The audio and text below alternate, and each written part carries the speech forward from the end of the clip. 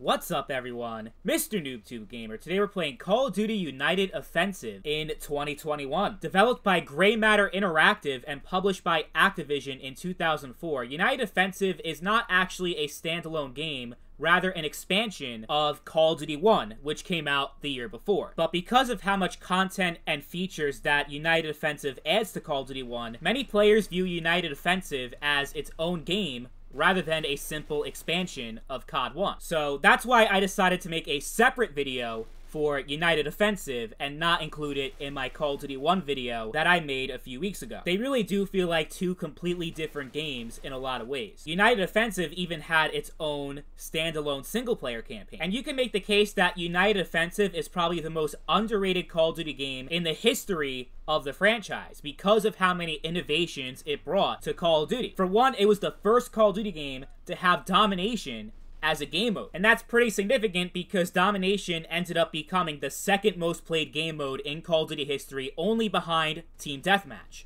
Call of Duty without Domination wouldn't be the same as it is today, so that was a huge contribution United Offensive made to the series. And UO was also the first COD to have Capture the Flag, another popular game mode that we can find in almost every Call of Duty game that has come out since United Offensive. It's also the first and only Call of Duty game to have a game mode called Base Assault, which is pretty much Conquest, except each team has three bases or flags, and the first team to destroy all three of the enemy's bases is the winner. And that's the gameplay that you see on the screen right now. It's Base Assault. Unfortunately, Base Assault is the only game mode you can really play for United Offensive in 2021. There's no team deathmatch, no domination, no free for all, no search and destroy. It's base assault or nothing, pretty much. You can actually play team deathmatch and domination. You will see some servers for them, but the catch is that they're all populated by bots, so you're not going to be able to play with real people. Which to me just seems like a complete waste of time. I don't play online multiplayer to get matched up against bots. I play it so I can play against real people.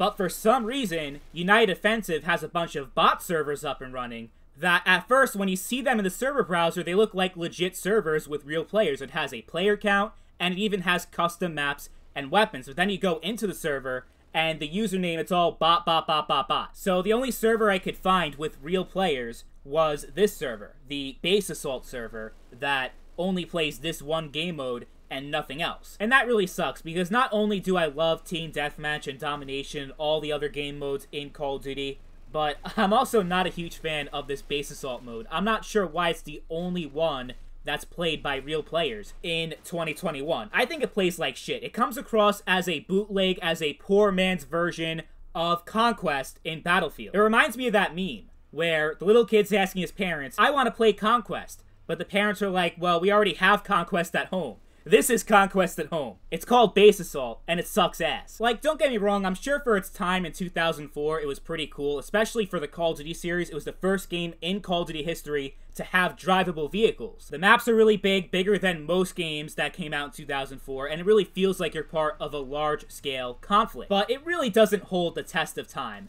I was playing Battlefield 1942 a few weeks ago, and I had a lot of fun playing that. I did not have any fun playing this. I guess there's a reason why Base Assault was only a part of United Offensive and has never made an appearance in any other Call of Duty game in 17 fucking years, because it's trash, that's why. In order to destroy the base, you have to first destroy the outside of the base with either a tank or a rocket launcher. Tanks do a lot more damage than rocket launchers do. So people just spam with the tank rockets, and that's how you destroy the outside of the base. But then to destroy the inside, you have to have a satchel charge. This match just drags on and on and on and on and on, and it gets really boring. The way that this game mode flows is terrible. I think I'd rather play Team Deathmatch on Piccadilly every day for the rest of my goddamn life in Modern Warfare 2019 than play one more match of Base Assault. It's that bad. So unfortunately, I can't recommend that you play United Offensive in 2021. I think it has a pretty good single player, so you can find it cheap enough just for the campaign. Go ahead, knock yourself out. But if you're trying to play this for the online multiplayer, uh, I would say no. The years have not been very kind to Unite Offensive. But if you're craving an old school Call of Duty multiplayer, and when I mean old school, I mean like way before Call of Duty 4, you want to play the really old Call of Duty games, Call of Duty 1 is definitely your best option for that. It's still a lot of fun in 2021. You have plenty of full servers of Team Deathmatch and a wide variety of game modes, not just one shitty game mode And COD 1 also has a really good single play. Call of Duty 1 is just so much better to play in 2021. The thing about United Offensive, though, is that you need to own Call of Duty 1 in order to even play UO, because it does rely on Call of Duty 1 and the files from that game, since United Offensive is still technically an expansion, rather than a standalone game built from scratch. It even says on the Steam page if you want to buy United Offensive, you must own a copy of Call of Duty 1 in order for it to work. So with all that in mind, I would just recommend you stick with Call of Duty 1. Don't even think about playing UO in 2021. Unless you already own it and you just want to play the single player, you can get it for a cheap enough price or whatever. Uh, that would be the only thing that I can recommend to you guys uh, at this point is the single player campaign because it is quite good, but definitely not good enough to pay full price on Steam, which is $20. Either way, it's a damn shame that United Offensive doesn't have full multiplayer functionality anymore in 2021. There's no team deathmatch, no domination. The thing is, we had 11 brand new maps, including new TDM maps, that were really good. Now you can't play them anymore. But regardless of the current state of United Offensive in 2021, we can at least look back and appreciate what the game did for the Call of Duty series in 2004 because it did quite a bit. Like we talked about earlier, it was the first Call of Duty game to have domination and capture the flag as game modes, two very beloved modes in the franchise. It was the first Call of Duty game to have a ranking system where you can level up even though the level progression was only within one game. So when you play the next match, your rank resets every time. But you were able to rank up within the game and by capturing flags and capturing objectives, you would get more points towards your ranking. And every rank you go up, you unlock different perks like extra grenades, extra ammo, and if you made it all the way to the highest rank, you can even call in an artillery strike, which is kind of like the precursor of what would become kill streaks in later Call of Duty games.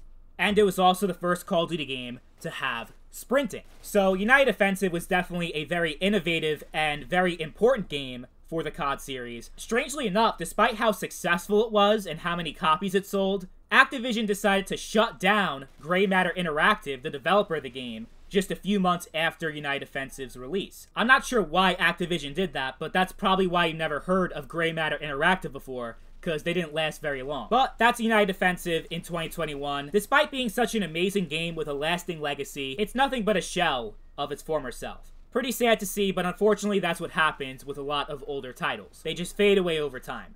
But anyway, hope you guys enjoyed the video. Thank you all for watching, and I'll catch you guys later.